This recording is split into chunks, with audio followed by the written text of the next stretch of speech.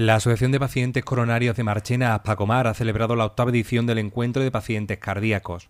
A la cita han acudido sanitarios y asociaciones de distintos puntos de la provincia. Piso del Alcor, Lebrijas, Las Cabezas de San Juan, Dos Hermanas, Araal, Morón de la Frontera y Mairena del Alcor son algunas de las localidades que han participado en un encuentro que se inició con distintas actividades deportivas y que ha tenido su continuidad a lo largo de la mañana con un desayuno de convivencia y la posterior conferencia a cargo del doctor Francisco Lozano, uno de los profesionales sanitarios responsables de las primeras unidades de rehabilitación cardíaca de nuestra provincia.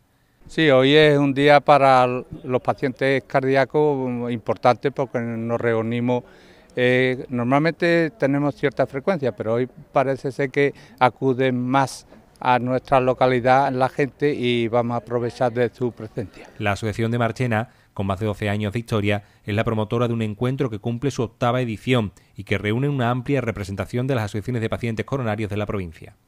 Soy un entusiasta de estas reuniones porque es que estas jornadas de convivencia nos traen, además del conocimiento entre, entre sí, pues que los enfermos, digamos, que tenemos este mal, podemos dialogar uno de un pueblo con otro y saber más o menos saber vivir con lo que tiene. La convivencia entre miembros de distintas asociaciones, la información que se facilita a pacientes y enfermos coronarios y el ejemplo que dan a quienes hacen del cuidado de su corazón un estilo de vida son las principales razones que mueven a la participación en este tipo de jornadas. De cara a los demás ciudadanos del pueblo, el hacerle ver que, tenemos que llevar una vida saludable, que tenemos que llevar unos hábitos de vida mejores para no caer en lo que ya nosotros hemos caído todos, en padecer la enfermedad. La conferencia de doctor Francisco Lozano ha marcado el ecuador del encuentro. Entre los consejos para prevenir la aparición de cardiopatías y la promoción de la responsabilidad personal en el cuidado de nuestra salud, se ha desarrollado una ponencia que han seguido los participantes en el encuentro.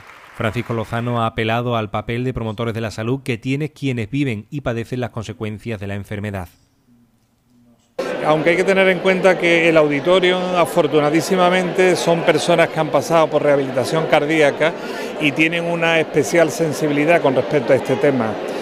Quizás sería interesantísimo que estas personas que hoy nos acompañan pudiesen ser la gota de expansión para esa población potencial que tiene menos concienciación y sobre todo para algo que para mí es vital, para esa educación para la salud en la que trataríamos de evitar eh, que la población enferme, evitar esa enfermedad de la voluntad, esa enfermedad de la voluntad que nos llevaría a tener, bueno, pues mm, que seguir avanzando en técnicas sofisticadas para solucionar problemas que se podían haber solucionado pues en la infancia, en la adolescencia, para que no tengan repercusión en la edad adulta. El doctor Lozano defiende la responsabilidad personal para ser protagonistas de nuestra salud y prevenir patologías causadas por la enfermedad de la voluntad, es decir, por la práctica consciente de hábitos poco saludables. El tema de conciencia personal de cada uno. Cada uno en la medicina del futuro va a ser responsable de su propia salud. Un concepto que no hemos tenido nunca claro. Bueno, yo vivo como quiera, cuando me ponga mal, pues que ya me harán lo que me tengan que hacer, ¿no? Cada uno va a ser responsable de su salud y la de su entorno, especialmente los padres de los hijos, incluso la misma ah, sociedad. Va a haber sociedades más sanas o menos sanas en función de la atención que a esto se le, preste. Los factores de riesgo más clásicos, los malos hábitos, obesidad, tabaco, sedentarismo, ya mm, con esto ya nos daríamos con un canto en los dientes. Pero esto habría que extrapolarlo, yo creo que a la pediatría. Sería el campo ideal, la pediatría. ¿eh? Ahí es donde realmente se va a cimentar todo lo que va a suceder después. Pero una buena prevención eh, primaria en pediatría yo creo que sería el ideal. La prevención es fundamental para evitar la aparición de cardiopatías. En este sentido, Francisco Lozano manifestó que esta debe practicarse a edades cada vez más tempranas en el primer mundo por una razón muy sencilla. El ser humano ha evolucionado, pero su genética no ha evolucionado con la misma rapidez. El ser humano vivía hace demasiado poco tiempo en los árboles. Tenía que hacer un gran esfuerzo físico para obtener su alimentación y esa alimentación era vegetariana y escasa.